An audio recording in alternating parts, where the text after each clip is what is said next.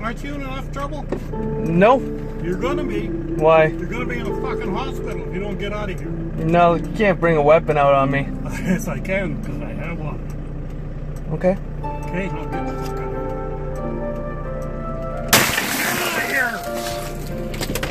Get out of here! What's your name? Dennis Tissington. Dennis Get the fuck out of here. Tissington. Yes. Get out of here! You're going to jail, bud. No, it's not. Yeah, you I'm are. fucking